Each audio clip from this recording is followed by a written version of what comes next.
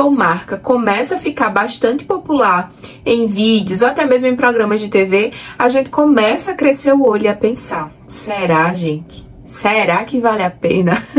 será que eu vou gastar o meu dinheiro e investir em algo que tá todo mundo falando bem? E será que de fato funciona? Não sei se foi só nas minhas redes sociais, mas eu vi muita gente começar a falar novamente sobre essa marca que é a Pantene. E aí eu disse, por que não fazer um vídeo lá no canal contando se vale a pena comprar Pantene em 2024? Parece uma pergunta tendenciosa, né?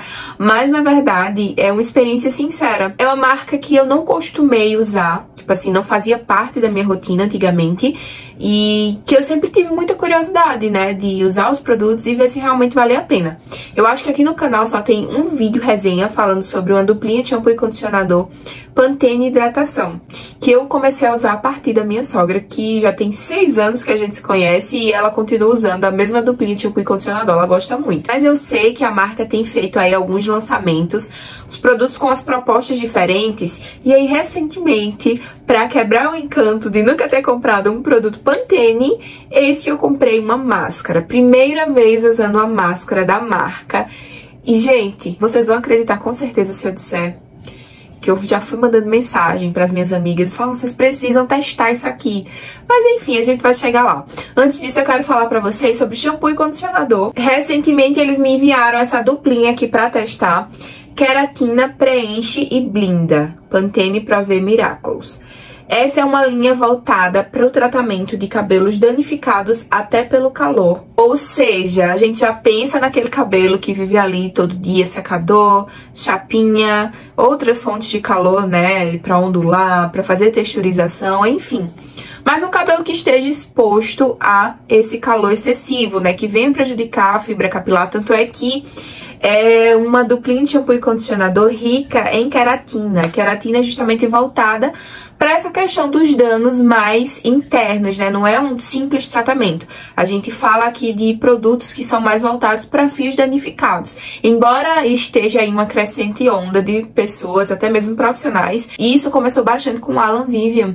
É, eu vejo que ele indica muito produtos com queratina, aminoácidos em geral, para cabelos com curvatura. Ele sempre fala que vai ser melhor para cabelos cacheados, né? No geral, curvaturas no geral vão funcionar melhor com produtos que tenham essa combinação de aminoácidos. Os shampoos da Pantene têm uma característica, tirando aquele transparente, né, que realmente é outra proposta, mas no geral, eu percebo que os shampoos da Pantene, eles são muito cremosos. Tem essa característica muito marcante. Um shampoo que ele é mais perolado, ele tem essa pegada mais densa mesmo. Ele é um shampoo que tem o sulfato convencional, mas toda essa emoliência, né, esse, essa textura mais emoliente que ele tem, é justamente por conta do silicone que está presente na composição dele. Então, realmente, ele carrega essa característica de um produto mais hidratante. E você sente isso ao aplicar, que ele vai formando aquela espuma cremosa, ele faz uma limpeza muito bem feita e, ao mesmo tempo, não deixa o cabelo duro. Isso é muito bom. O condicionador é uma gracinha, gente. Olha o tamanho, 150ml. Ele tem essa embalagem de bisnaga, que pra mim é muito interessante.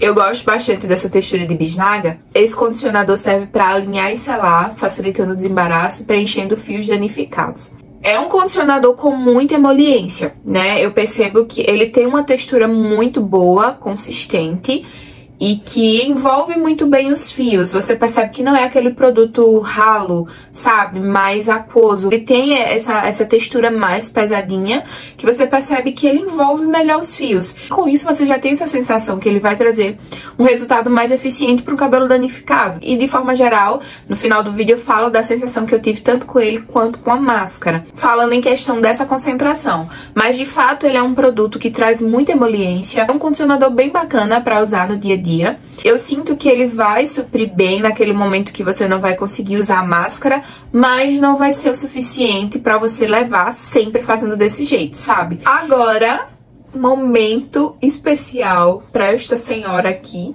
máscara umectante de nutrição. Eu fui pro Festival de Beleza do Açaí Atacadista, eu falei pra vocês em algum vlog. Como eu já tinha recebido esse shampoo e condicionador, pensei logo, momento de fazer rotina capilar lá pro canal. Eu até pensei em trazer a Dove Texturas Reais, a máscara, mas eu disse não. Vou levar Pantene porque fiquei muito entusiasmada com a proposta. Essa máscara aqui, eu tenho visto muita propaganda dela, tanto na TV como nos anúncios aqui do YouTube. Ela tem a versão hidratante e a versão nutritiva. E ela tem umas pérolas, sabe? Umas partículas douradas, que eles falam de pérolas Pro V, que são solúveis. E também óleo de amêndoas. É uma reparação também de queratina, máscara intensiva e prometem fios até 100% mais fortes e preenchidos. É uma máscara que tem um tempo de ação maior, ou seja, 30 minutos, tá? Realmente é um tratamento bem intenso, porque 30 minutos para você deixar no seu cabelo. A gente que tá aí acostumada com máscaras de 10 minutos, assim, no máximo. 30 minutos realmente é um tempo bem considerável. Aqui eles falam que ela é a solução semanal para cabelos com frizz e pontas duplas. Essas partículas liberam milhões de lipídios que se dissolvem no creme é uma tecnologia exclusiva da Pantene. Essa fórmula NutriPerils provê uma infusão reparadora contra danos. Elas vão proporcionar brilho, suavidade, enfim. Eu achei sensacional. Ela tem uma textura bem oleosa mesmo, ó. Vou mostrar pra vocês, estão vendo essas partículas douradas? Essa máscara, ela tem uma característica de umectação mesmo, porque ela é mais oleosa. E aí eu sinto essa necessidade de dar uma mexida nela, que ela fique mais homogênea. Ela tem uma textura, assim, mais fluida. E aí quando eu misturo, parece que ela, sabe, fica mais encorpada. Ó, tá vendo? Agora ela tá mega consistente bem diferente de como tava. É como se todo esse óleo desse uma emocionada mesmo no produto. E as pérolas, ó, ficam bem mais visíveis. Assim como o condicionador, essa máscara também me proporcionou um mega condicionamento. Eu fiquei muito surpresa porque foi instantâneo. Tanto que eu falei pra vocês, né? Eu fui usando, já fui dizendo... Cássia, Lani, fui falando pras meninas, vocês precisam testar, porque essa máscara é maravilhosa. E de fato, as minhas primeiras impressões é de que ela é tudo isso mesmo. De, realmente o meu cabelo ficou mega condicionado, ficou bonito, encorpado quando eu finalizei. Só que é um produto muito intenso, né? Tanto que a marca indica 30 minutos de ação.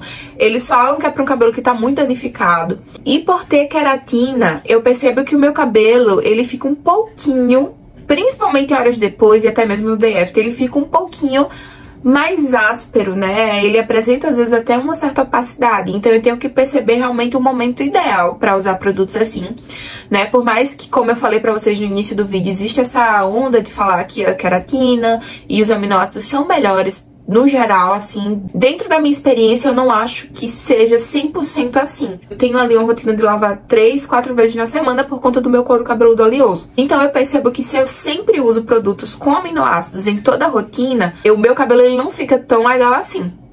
Eu sinto que eu preciso desse intervalo, de aplicar uma vez na semana e nas outras rotinas usar produtos mais oleosos, né? Uma mistura aí de hidratação com nutrição. Mas usar sempre, sempre, sempre, sempre produtos com aminoácidos no meu cabelo não funciona tão bem. Engraçado, né, gente? Porque aqui eles falam que é uma máscara nutritiva, mas a gente não entende os ativos de nutrição como os aminoácidos que foram citados aqui, né? A gente conhece esses ativos aqui mais como ativos de reconstrução, restauração. Mas as marcas, elas tendem muito a misturar. Hoje eu tenho percebido muito mais que com o crescimento da ideia de você criar o seu próprio cronograma as marcas elas estão misturando muito mais as nomenclaturas, muitas vezes até por marketing né, elas fazem isso. Não que isso atrapalhe, talvez para quem não conheça, para quem não entenda muito bem, queira se aprofundar nisso, possa confundir. Para quem já tá habituado e já vem dessa coisa do mundo cabelístico há muitos anos, vai ser muito mais fácil de identificar. Então, será que depois desse teste de primeiras impressões, dessa volta ao uso da marca, eu responderia que vale a pena usar a Pantene em 2024? eu acho que é uma excelente opção no mercado, né? Eu dei uma olhada lá quando eu tava na loja, até nos outros produtos também, uh, na, na proposta em si, nos ativos que estão ali presentes são ativos muito bons. Eu tive realmente também uma experiência muito boa. Eu acredito que é só uma questão de intercalar com outros produtos que eu já gosto e ali encontrar o equilíbrio dentro da minha rotina.